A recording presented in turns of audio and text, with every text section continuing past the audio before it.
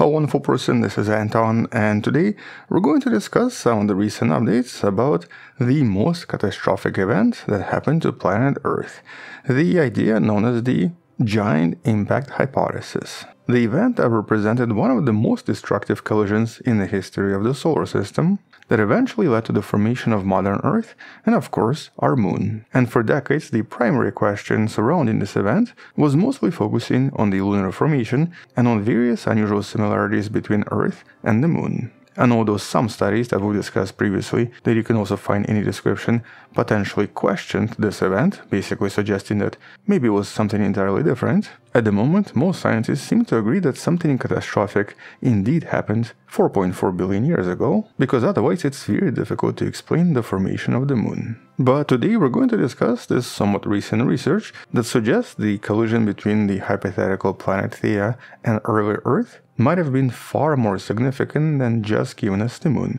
It might have been responsible for basically forming early life. And so let's discuss this idea and this study in a bit more detail, but here I guess let's start with the very brief history of early Earth. And here we have to rewind time by approximately 4.5 billion years. The early solar system was a very chaotic place.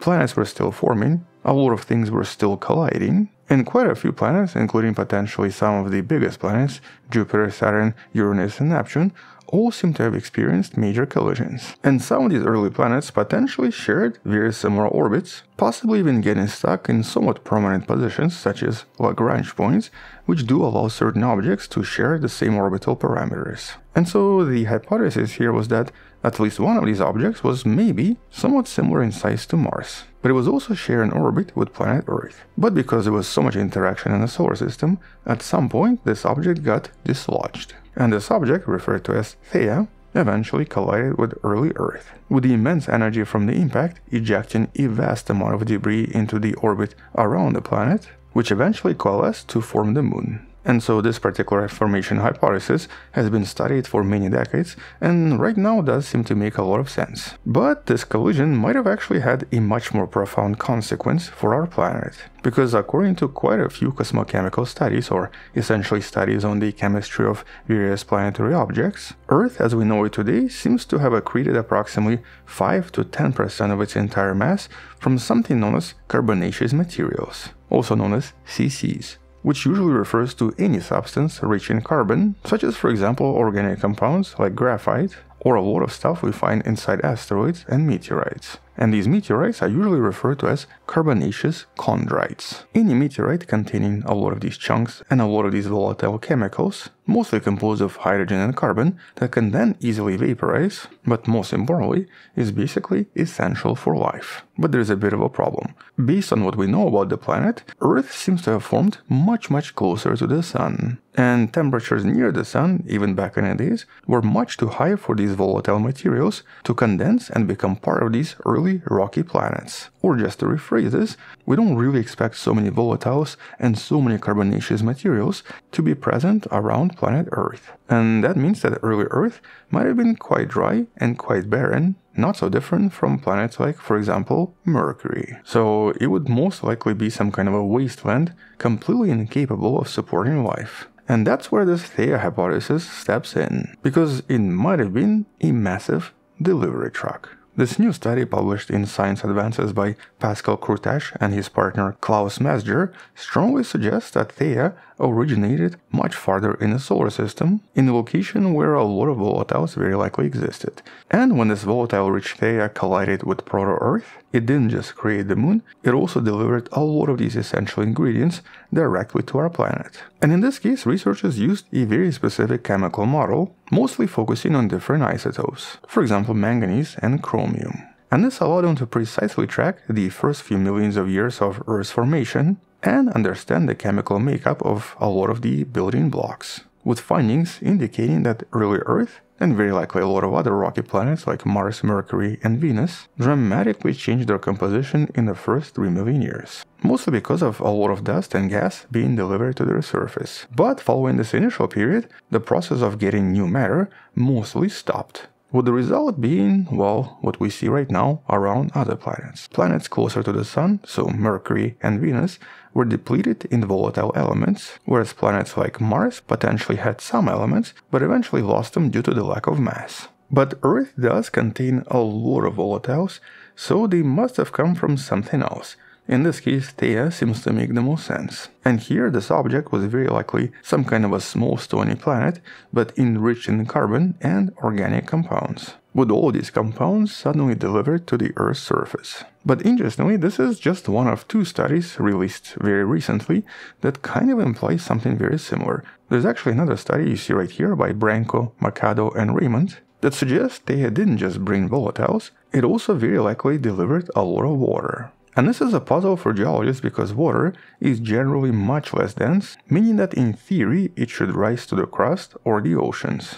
But here the simulations from the study suggest that Theia delivered all of this water, mostly into the Earth's mantle, and there hasn't been enough time for most of it to reach the surface yet. And so deep inside our planet, there is very likely a lot of leftover water, representing a direct legacy of this enormous impact. With both studies providing validation for cosmochemical studies, explaining how Earth acquired significant fraction of carbonaceous material and a huge amount of water on top of this with these two propositions explaining and solving quite a lot of unusual mysteries. For example, previous chemical studies on Earth and Mars show that in case of our planet, it seems to have 10 to 15% carbonaceous material, while our red neighbor, Mars, seems to just have a few percent or just a fraction of the material. And that doesn't really make sense because Mars is much farther from the Sun, so technically it should contain more. And so if carbonaceous material in the inner solar system was mainly in the form of these large planetary embryos, that would then collide with various objects, it would be much easier to explain why some planets seem to have this misbalance. Here, Earth would receive a huge dose, while Mars potentially only experienced much smaller collisions, and thus much less delivery of various volatiles. And so here this particular model actually questions the origin of Theia. It was unlikely to have come from the same orbital parameter as Earth, and was extremely more likely to be some kind of a volatile rich body coming from the outer solar system, possibly even beyond the asteroid belt and beyond Jupiter. And here the simulations also suggest that it was really Jupiter and Saturn that mostly scattered a lot of these materials early on, very likely causing most of these collisions. But I guess the main question here is, so why is this important and why does this matter? Well, in this case, the implications are quite vast and do extend way beyond our planet. Because obviously, in this case, Earth is also the only planet where life has been officially confirmed and also directly depends on these two things Theia brought to Earth organic molecules and carbonaceous materials, and a lot of water. And so, one of the potential implications here is, of course, in regards to the origins of life.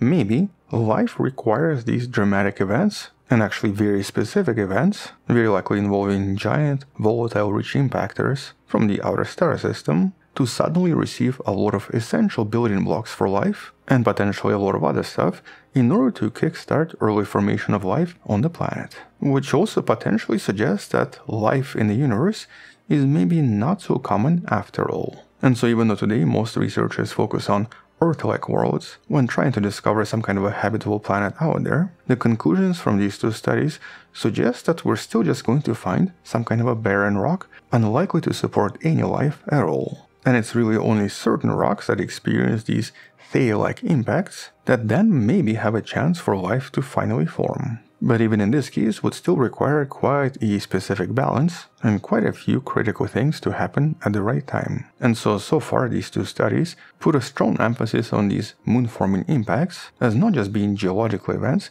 but also being biologically foundational at least for the history of our own planet. And although there were some limitations in the study, such as not accounting for all of the complex dynamics in the early gas disk, the research still provides powerful dynamical validation for most chemical studies involving planets and offers us plausible scenario for how Earth became unique life-supporting planet. Which in summary means that the story of Theia is no longer just about the moon, it's now about the life itself. This event potentially led to the emergence of life that then physically transformed the planet into the Earth we see today, making this a stark reminder that sometimes our existence might just be the result of very precise and even somewhat lucky events that may not be very common out there. But once again, this is, at least for now, still a hypothesis. And if you disagree, let me know why in the comments below. But we'll definitely come back and discuss this more in some of the future videos because this is probably one of the most fascinating topics when it comes to the formation of Earth and the Moon.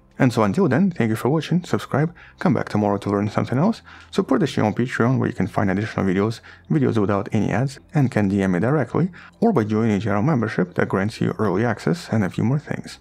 Alternatively, you can also buy the Wonderful Person t-shirt in the description. Stay wonderful, I'll see you tomorrow, and as always, bye bye.